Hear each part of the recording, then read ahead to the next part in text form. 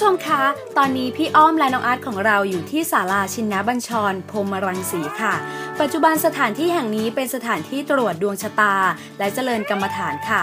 สำหรับใครที่อยากจะมาตรวจดวงชะตานั้น แนะนำว่าให้โทรมาสอบถามล่วงหน้าก่อน 1 วันค่ะ และต้องมารับบัตรคิวในตอนตี5ถึง7โมงเช้านะคะ ถือเป็นกฎข้อปฏิบัติของทางวัดค่ะ ซึ่งที่นี่จะหยุดตรวจดวงชะตาทุกวันพระ และก็วันพฤหัสบดีนะคะ ที่สำคัญผู้ที่มีอายุไม่ถึง 20 ปีบริบูรณ์ ทางพระอาจารย์จะไม่รับตรวจดวงชะตาให้ค่ะ เอาเป็นว่าเดี๋ยวเราตามพี่อ้อมและน้องอาร์ตไปสนทนาธรรมกับพระอาจารย์กันดีกว่าค่ะ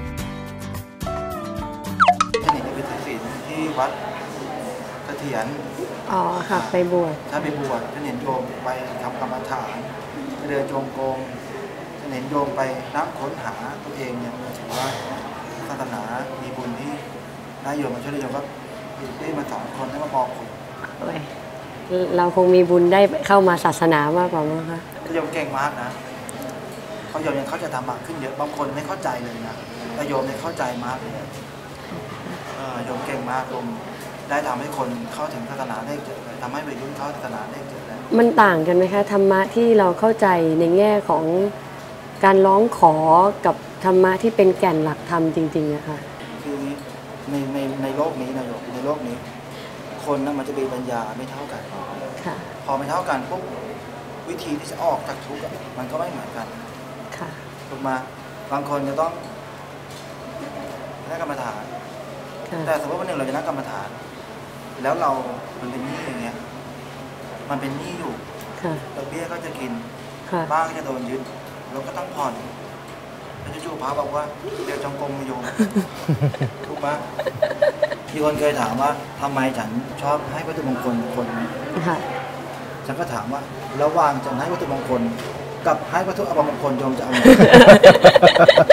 ถูกไหม คุณเอาไหนอะถูกป่ะแต่ว่าคนมันเหมือนคนเหนื่อยๆอะ คนเหนื่อยๆวิ่งวิ่งวิ่งวิ่งวิ่งวิ่งมา แล้วมันร้อนอะค่ะจู่ๆจะบอกให้มันไปนั่งสวดมนต์มันไม่นั่งหรอกอืมมันต้องเอาน้ำเย็นน่ะเข้าเข้า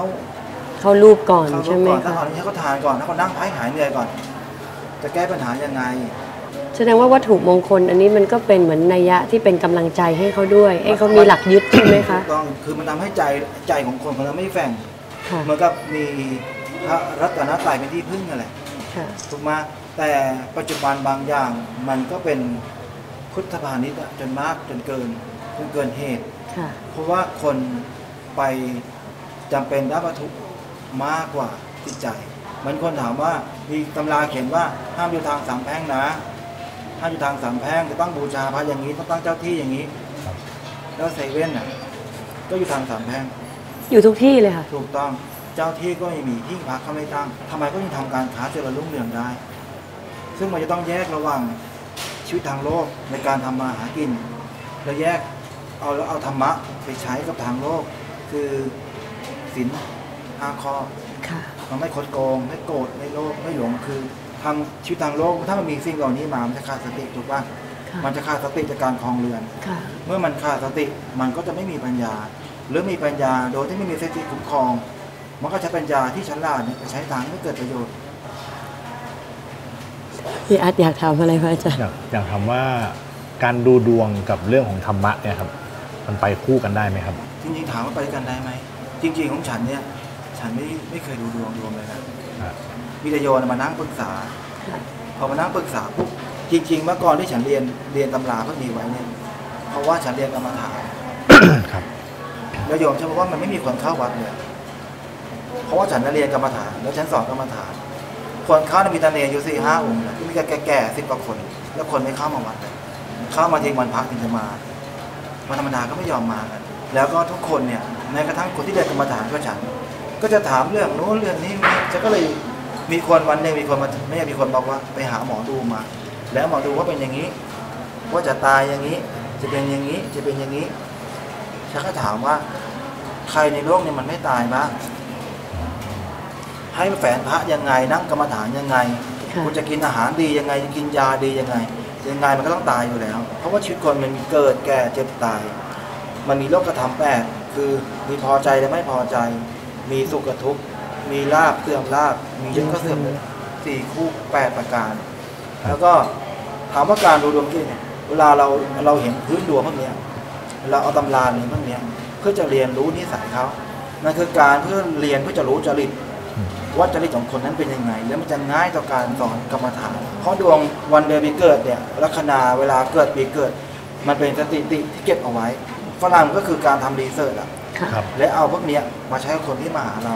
แล้วก็จะสอนว่าคุณควรจะเรียนกรรมฐานไปทางไหน เราก็ใช้ตำราที่เรียนเนี่ย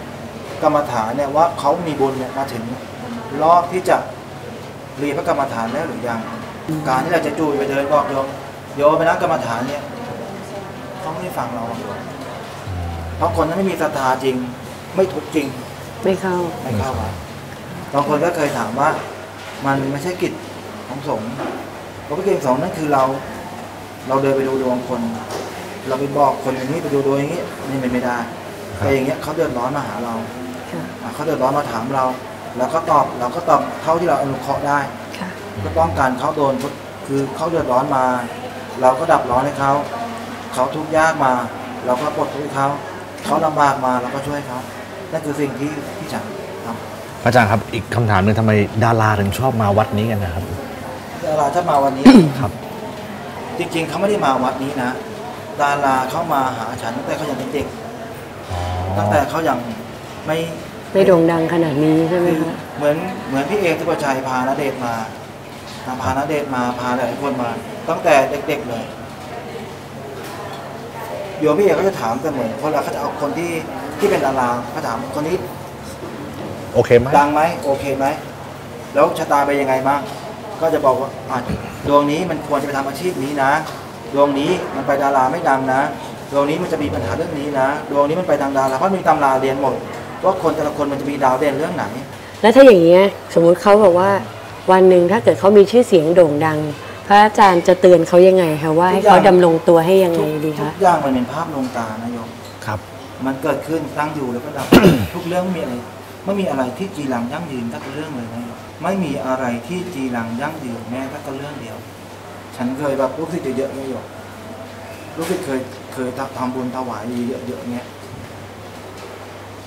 ก็เมื่อก่อนก็ติดเรื่องอาหารหน่อยคือคนคนลูกศิษย์เยอะจะเอาอาหารมาถวายเยอะๆแล้ววันหนึ่งก็เข้าโรงพยาบาล เข้าโรงพยาบาลหมอก็จะเจาะคอฮะ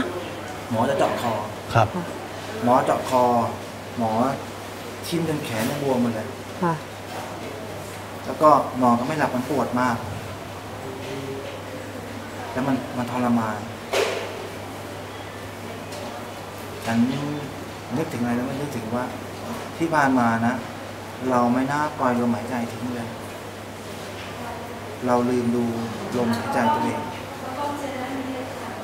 ลืมไปว่าสักวันหนึ่งช้าหรือเร็ว เราก็ต้องอยู่คนเดียวอยู่ดีเพราะเรามาคนเดียว เราก็ต้องไปคนเดียวลาบยศชื่อเสียงมันมีภาพลวงตา มันเป็นเหมือนหัวโขน เมื่อไหร่เราถอดออก มันก็มีแต่ความว่างเปล่า ยิ่งคนที่มีภาพลักษณ์ดีเท่าไหร่ ภายในก็ยิ่งซ่อนความน่ากลัวเอาไว้เท่านั้น คือเวลาบอกว่าบอกว่าเราเราขึ้นที่สูง เราก็จะต้องมองที่สูงต่อค่ะถูกไหมครับแต่ก็จะมองลงที่ต่ำที่เราขึ้นบันไดขั้นแรกมาค่ะเพราะว่ามันมีกำลังคนเดินขึ้นตามเรามา นั่นคือธรรมชาติมนุษย์ต้องเจอ คือขึ้นลูกก็เอาเก่าไปขึ้นลูกไปก็ต้องมาแทนผมมีทุกอีกข้อหนึ่งสุดท้ายเลยครับ ชะตาณเดชน์กับชะตาผมนี่ใกล้กันไหมครับ กล้าถามนะ เอาหน้าก่อนไหมชะตาคนเรานี่ขายกันนะโยมรู้ไหมว่าเรามีสิ่งพิเศษที่ได้มาคืออะไร ผมสิ่งพิเศษที่มนุษย์ได้มาคืออะไรรู้ไหมสามครบสามสิบสองครับ ถูกต้อง แล้วก็สิ่งที่อัศจรรย์วิเศษมากคือตา หู จมูก ลิ้น มือแล้วก็ใจเพ ราะตามคือวิชั่นหูก็ฟังดนตรีฟังเสียงพูดพิจารณาไตรตองการพูดคือหลักการเจรจา จะใช้วาจาก็ดีก็ได้วิยะวาจาก็ได้วาจานี้ก็ได้ กินที่ได้เห็น เพราะอายตนะทั้งหกเนี่ยที่สามารถรับรู้สัมผัสได้คือสิ่งวิเศษที่สุดแล้วที่เหลือที่ตัวเราจะใช้ความสามารถที่มีในตัว จุด ขายในตัวให้ได้มากน้อยแค่ไหนมาของเขานะเด็กเขามีลูกเป็นทรัพย์อะเขาก็โชคดีเพราะเขามีลูกเป็นทรัพย์อ๋อนะอย่างเขามาหาฉันตั้งแต่เด็กๆอยู่เลยโยมนะคะมาก็ล้างห้องน้ำเนี่ยมาล้างห้องน้ำโอ้โหแกเคยล้างไว้ห้องน้ำอะห้องไหนครับอาจารย์เนี่ยห้องน้ำเป็นล้างอะไรโยมซ้ำซ้ำเข้าไปทีหนึงนะครับผมเนี่ยมาล้างห้องน้ำมาเลยโยมมาดาราทุกคนที่มานี่นะโยมฝาดวัดล้างห้องน้ำถูวัด สวดมนต์เข้ากรรมฐานก็ส่วนมากก็มาเข้ากรรมฐานมาสอน แต่ว่าได้อาจจะได้ด้วยสภาพที่เขายังยังเด็กอยู่เขายังก็ยังเด็กอยู่แล้วก็ยังอายุน้อย แล้วก็เวลาที่เขาจะปฏิบัติธรรมให้มากเนี่ย มันก็ยังไม่ได้มากเพราะว่าเวลามันน้อย งานก็ยังยุ่งอยู่อะก็น่าจะครับเข้าใจอะไรหลาย ๆ อย่างดีขึ้นนะคะ วันนี้ก็คงจะรบกวนพระอาจารย์เท่านี้นะจ้ะคะสาธุญาติโยมขอบพระนะคุณครับพัฒนาบุญนะญาติโยมสาธุค